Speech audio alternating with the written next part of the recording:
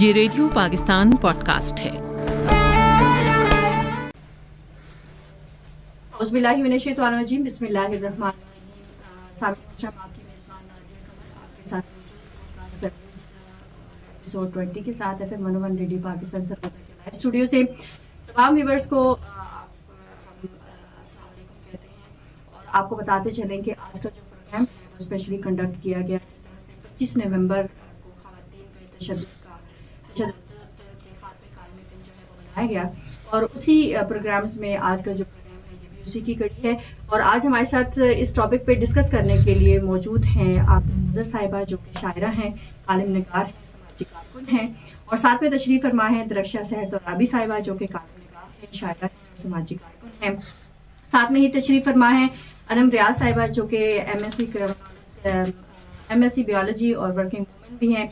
और साथ में तशरीफ़ फरमाए सादिया शेख साहिबा, जो नायब सदर डिस्ट्रिक्ट बार एसोसिएशन है, हम सब खातन को खुश आमदेद कहते हैं कि आज जो खातन पर तशद के हवाले से डिस्कस करेंगे, जो बेसिक राइट्स हैं खातन के, उस हवाले से डिस्कस करेंगे। सबसे पहले सादिया, हुमा शेख साहिबा, आपकी जानब में चलूँगी और आपसे ये दिन के हवाले से पच्चीस नवंबर को ये दिन जो मनाया गया।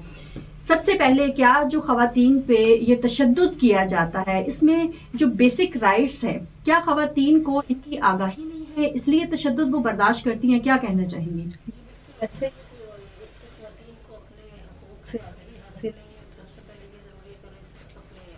राइट से रोशनात दूसरी जो है हमारा माशरती दबाव खातन पर बहुत ज़्यादा है। कि तलाक हो गई तो घर कहाँ जाएँगे? भाई क्या सलूक करेगा? वालिद क्या कहेंगे? वालदा दुनिया क्या कहेगी, लोग क्या कहेंगे? इस चक्कर में खातन तशद बर्दाश्त कर रही है। और दूसरी बात, कि उन्हें नॉलेज नहीं है कि हम कहाँ कंप्लेन करें, कैसे करें, और उसका क्या सदभाव होगा। उसके लिए मैं छोटी सी बात अर्ज़ करना चाहूँगी कि बहुत सख्त कानून बन चुके हैं। इवन कि हमने एक हेल्पलाइन बना दी कि जस्ट औरत कॉल करेगी तो जस्टिस उसके डोर पे होगा। उसी वक्त उसका सदभाव होगा, उसके हस्बैंड से सारी इंक्वायरी की जाएगी, और अगर उसे हालात में डालना पड़े तो वहाँ भी डाला जाएगा। तमाम उसके लिए मैसर हैं। सिर्फ़ ये कि औरत आवाज़ उठाए और इस जुल्म के खिलाफ अपने आवाज़ बढ़ाए और बर्दाश्त ना करे। जी आपदा नज़र साहिबा हमारे साथ तशरीफ़ फरमाए हैं। जी आपदा नज़र साहिबा आपसे इस हवाले से जानना चाहूँगी खातन जो हैं उनके साथ जब तशद किया जाता है तो क्या उन्हें अपने हक के लिए जो आवाज़ उठाई जाती है उनका हमारी सोसाइटी हक देती है? सबसे पहली बात तो यह है कि हमें अपनी औरत को बोलना सिखाना होगा।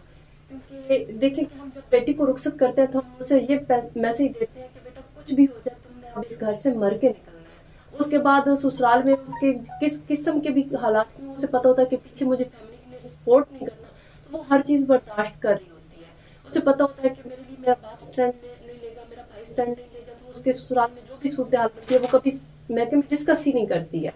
जब उसे पता ही नहीं है तो फिर वो बोलेगी कैसे? हमें अपनी बेटियों को बोलना, सिखाना चाहे वो बेटियाँ हैं, फिर बहनें हैं, भाइयों को सपोर्ट देनी होगी, अपनी बहनों के लिए खड़ा होगा। आप देखें हमारे माशरे में एक आम बात है कि लड़का अपनी पसंद बताता है तो माएँ बड़ी खुश होती हैं। जब बेटी बताती है तो उसे गैरत के नाम पे कत्ल कर दिया जाता है।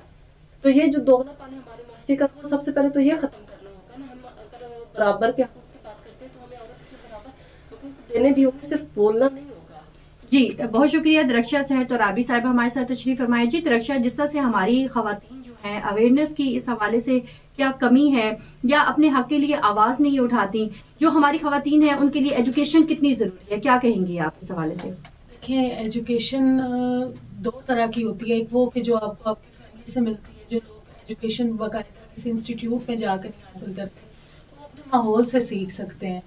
बहुत सी चीज़ें ऐसी होती हैं जो हम उठने बैठने के तरीके सोशल मीडिया का दौर है, तकरीबन मोबाइल बंदे के पास मौजूद ठीक है? तो ये चीज़ें कुछ हम अपने इर्द गिर्द से भी सीख सकते हैं और एजुकेशन होना बहुत ज़्यादा ज़रूरी है। देखिए, मर्द होने का सबसे कमज़ोर तरीन दर्जा ये है मेरे नज़दीक के अल्लाह ताला ने मर्द को अगर ताकत का निशान बनाया है तो उसका ये मतलब नहीं है कि उसने ये सारी ताकत का इस्तेमाल औरत पे तशद करके, जहनी तौर पे या जिसमानी तौर पे तशद करके ही ज़ाहिर करना है। तो इसमें फिर जो है, सिनफ नाजुक से सिनफ आहन बनना बहुत ज़रूरी है औरत का। ये वो एजुकेशन और अवेयरनेस की वजह से ही बन सकती है। जी बहुत शुक्रिया अनम रियाज हमारे साथ मौजूद हैं। जी अनम जिस तरह से खातन पे तशद के हवाले से हम लोग बात करें दफातर में खातन जो है वो काम करती हैं घरों में काम करती हैं खेती बाड़ी जो है वो कर रही होती हैं। जो खातन है उनके जो बेसिक राइट्स हैं उनको वहाँ पे भी नहीं दिए जाते। आप इस हवाले से क्या कहेंगी? बात वही आ जाती है कि औरत को लड़ना है अपने हक के लिए। उसको उसके बारे में नॉलेज खुद सीखना पड़ेगा। उसकी परवरिश ऐसी होनी चाहिए। सबसे पहले तो माँ बाप बहन भाई उसको घर से उसको एजुकेट करना चाहिए। जी। बाहर की एजुकेशन तो एक दूसरी बात है। उसको घर में ही उसके बाप उसके भाई या जो भी उसके रिश्ते हैं जो अपने उसके बिल्कुल सगे हैं खून के रिश्ते हैं ब्लड रिलेशन है उन्हें उनको बताना है कि अगर तुम्हारे साथ कहीं पे भी कोई मसला बनता है तो हमारी सपोर्ट तुम्हारे पीछे है। तुमने बोलना है अपने राइट के लिए। नहीं तो ये घर से काम हुआ होगा तो बाहर जाके वो कुछ कर सके। अगर घर से ही उसको कहा जाएगा कि नहीं, तुम बेटी हो, तुम हमारी इज़्ज़त हो, कभी बाप के नाम पे तुम बैठ जाओगी, कभी तुम भाई के नाम पे, कभी तुम हस्बैंड के नाम पे बैठ जाओगी, वो हमारी इज़्ज़त है मैं उनकी इज़्ज़त हूँ, मैं कुछ भी नहीं करूँगी।